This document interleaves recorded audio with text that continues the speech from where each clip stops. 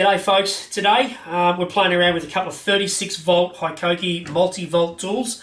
Um, looks a little weird at the moment, we've got Dwayne just sitting here in a little box. Uh, I'm pretty happy about that because there's less smell, but we're still in COVID in Victoria, unfortunately we're locked down. So the big dog, um, he's, he's in a remote area and we're not allowed to see each other. So we still want to catch yep. up about tools though um, and just keep going through them because Dwayno's just recently had a play with this. I've had these for a couple of months on site now, um, and yep. I really like the Saw. Is fair to say, Dwayno?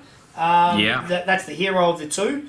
Uh, the Jigsaw yep. is good, but first we're probably going to chat a bit about the Circ Saw. Yeah, so there's a 36 volt tools. We've already reviewed the 36 volt reciprocating saw from them, um, and their drill and impact as well. Yeah, all been yep. beasts so far. Um, so we've loved the multi-volt range so far, and I think we're going to be seeing more of them in the future again.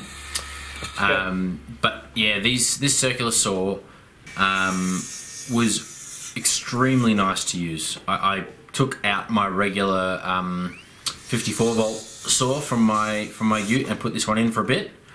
Yep. And I've been really impressed.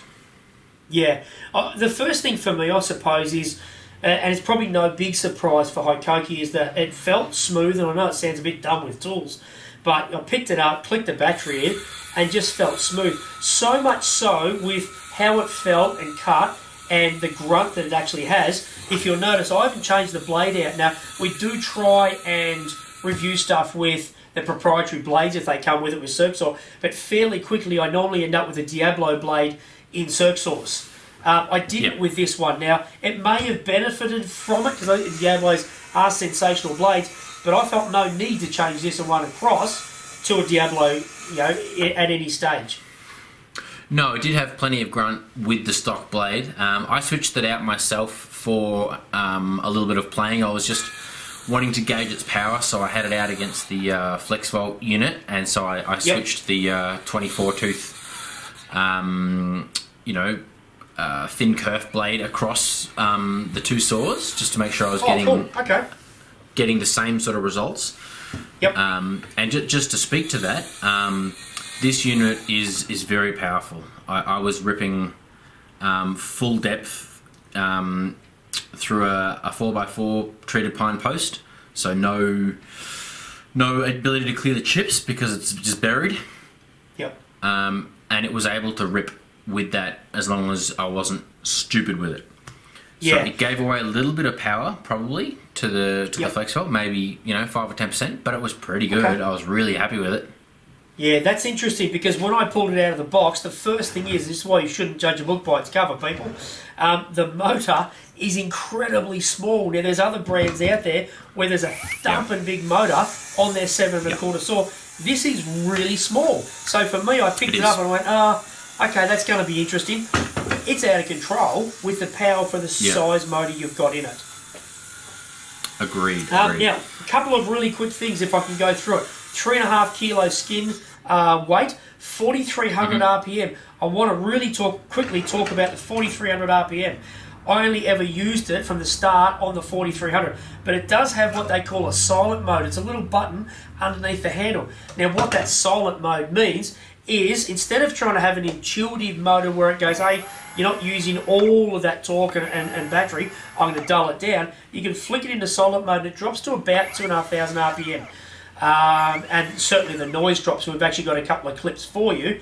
Um, what I do want to say though is I'm not quite sure what they're trying to achieve because it's really only going to work with Luan ply or your 7mm ply maybe because if I drop it down to that silent mode and try and knock an LVL or something, I feel like it's actually going to take twice as long to get through it. So yeah. then, yes, you've dropped decibels, but you, have got that continued noise. So uh, I might be a bit ignorant, but I'm not sure that that's going to be heavily used, and I certainly didn't find application for me to use it. No, maybe some 3 mil ply or, or, or MDF or something. Um, sorry. Yep. But yeah, I, I, I, would never use it myself either. So. Yeah. Not a big one for I me. found that a little bit a little bit with Hikoki, I have found sometimes their features to be a little bit of a miss there in terms of these auto modes and things. Um, yep. But but then again, it doesn't hurt you having that feature. Just leave it off if you don't like it. Yeah, that's true. Now we've also got a quick video. I've got it in my hand. I've got a little quick video that will show you as well. When we go to put the dust extractor attachment on, it's fantastic. It's got a dust extractor attachment, but you have to actually to install it, lift the guard up, install that, and the guard never actually returns back to its original position. It's actually, ah. I'm going to say, about 40 mil um, from going back to its original spring-loaded position. What it also hmm. does is when you let go of the guard, it continually bangs into the plastic. So I'm not sure the design's there for that, really. Secondly, if you have a look here, and I'm pretty sure you'll be able to see this main picture, this stuff and thing has got its own postcode out the back. It's great that they've got dust extraction. Dust extraction works okay, but that is going to get snapped off on site in two seconds. So I honestly think that's a, an afterthought, which is a bit odd yeah. for Hikoki, and I think not great. Um, to go away from the not great, what I would say, the guard retracting, it's got a metal handle on it. To change my base uh, for my bevel angle, it's got a metal handle on it. To drop my base um, for my depth of cut, that's got a metal handle on it as well. So everything here that you're playing with is metal handle, except for just this little knob here where your ripping guide goes in. So as far as that's concerned, Hikoki's done really cool things as far as the, the design, and I think that the more bits of metal on that, the better. It's just something little that we've got, I suppose. Yeah, I think in terms of the weight and the size, they've done really well because it, it does have a bit of weight to it, which makes me confident because if it's really light, it, you know it's just not going to have the power. Um, yeah. But it, they've kept it compact and they've kept it with very quality feel to it. Yep. It doesn't take up a massive uh, space in your toolbox, which is nice. No, certainly um, doesn't. Mind you, it does if you keep it in the original box that it comes in, which is great. I know that you love these, mate, in your back in your yeah. I don't use them because they often take up too much room. When you're jumping onto this, once it's on site, you'll actually notice it sits on quite an angle um, you don't want to be bashing this plastic on the back. It's actually got a, a thumping big rubber moulding. Hikoki have gone a bit crazy on some tools with their rubber mouldings and overlays, but for this one, you dump it down on the ground, and it's actually got a big rubber moulding where you almost can't break um, that plastic shroud on the back of the motor, which I really like for that. Yeah, I actually really like the boxes because um, what I, you know, because I keep my tools in, in sort of boxed containers, depending on the type of thing they are. So I keep my yep. speed square and my ripping fence and a couple of batteries um, and maybe my uh, earmuffs in my box with my circular saw because those are the things that I want with it all the time. Yep. Um, and then there's still a bit of space at the top if I want to throw, you know, a couple of hand tools in there. I actually yep. really like the Hikoki box system. It's it's pretty much the same as the Makita, same as the Festool. Um, yep. But uh, yeah, uh, really solid. I'm a, I'm a big fan. Yeah, that's fair call. Um, I'm also a pretender in the back of my ute, so I like the stuff to look pretty, but I don't necessarily have it in and out every single day. yeah. Um, okay, I want to jump quickly across to the jigsaw. Now, without sounding too negative, what I want to say, and Dwayne, I think is in full agreement, this is the hero of these two tools. This jigsaw is a good jigsaw. Is it a great jigsaw? Um, no. It, it doesn't have any bells and whistles on it, so that's okay. What we would say is barrel jigsaws um, I was always a massive believer of barrel jigsaws, but my original barrel jigsaw had a couple of things going for it that this one, and unfortunately some other brands, don't have anymore. When you've got your barrel jigsaw, I want my thumb to be able to do most of the work. I want to be able to flick it on with my thumb at the top so I've still got full control of the tool, and also the variable speed to be very close, or at least at the front here. With this one, you've got a switch on the left and a switch on the right, but and I've, I've got a video of this as well. You actually have to almost choke the head of the jigsaw to be able to flick it on and off. And then underneath your hand is the variable speed. So to me, it feels a little bit clunky. It, it cuts fine. The oscillation um, mode is absolutely fine. It's got an Allen key tucked in the back here to be able to change the, the bevel angle of the base. And I've just turned it on accidentally, like there's no blade in it. Um, all that's fine. It just doesn't 100% work for me. I think, Dwayne, you were the same. Yeah, and to provide a little bit more, I guess, width to that discussion, um, barrel versus D handle or top handle is a very divisive subject when it comes to jigsaws. Yep. And I've been a massive believer in the D handle for ever since I've owned jigsaws. um, you've come around to that opinion as well. Yeah. If if you're comparing this to the rest of the market, it's a great jigsaw. Yep. Because most of the other ones that I see, these barrels, they don't have the switches within thumb reach while you're holding the tool either, which Yep. means that for me, they're not a genuine one-handed tool. Yeah, it's fair. When I use a D, a, a, a D-handle jigsaw, I can hold my workpiece in my left hand and then drive with my right hand absolutely fine. One-handed tool, no problem.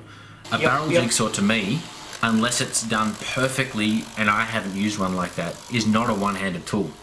Yeah. Um, I, I, I because think you, you right. have to use the other tool to get to the switches, and that Yep. frustrates the heck out of me personally. Yeah. Um, so what I would say, just with regards to this, is I think it's a very good barrel jigsaw when you compare it to barrel jigsaws. Yep. Um, it's it's powerful, it's compact, it's got a really nice fit and finish.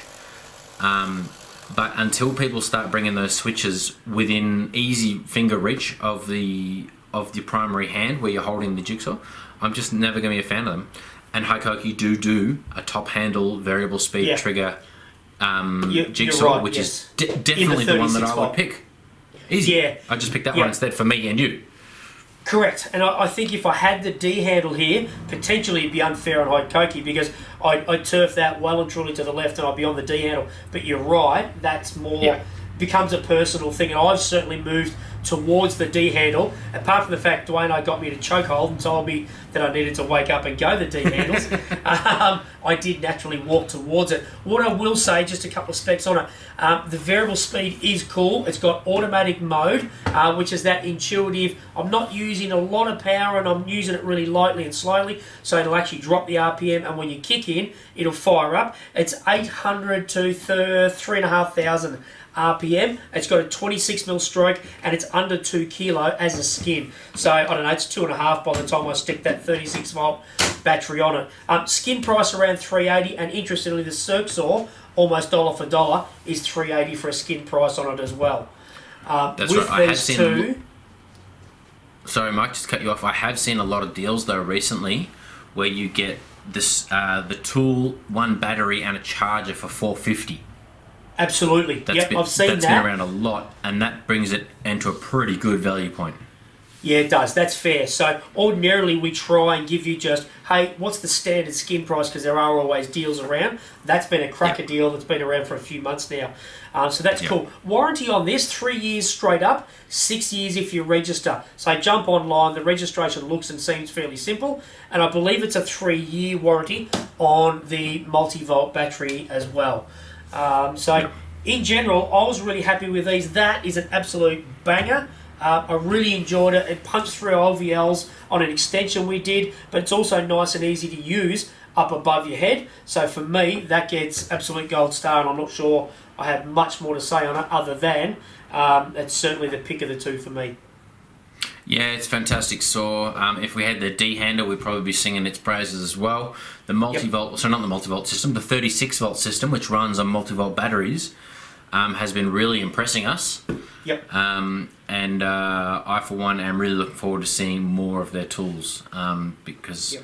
I've uh, I've recently um, gotten a friend of mine onto the um, 36 volt stuff with the recip saw and, and the impact and, and drill, and he's just loving that stuff. Yeah, Um, beautiful. so, good platform. Yep, don't think you can go wrong. So anyway, check it out. Um, try and get these in your hands at a trade store or a trade show or something like that. Um, certainly hit up Hikoki if you can try and get to use one. I think you'd be really pleasantly surprised with the 36 volt system. Um, if you like this video, hit like, hit subscribe, follow us on Insta, all those things. But most importantly, uh, comment down below because we do love to reply to your stuff and hear your feedback on tools, bits and pieces like that. So um, thanks very much for your time. Cheers, Dwayne, with the little box up there. And Thanks, we'll catch you soon. See yeah.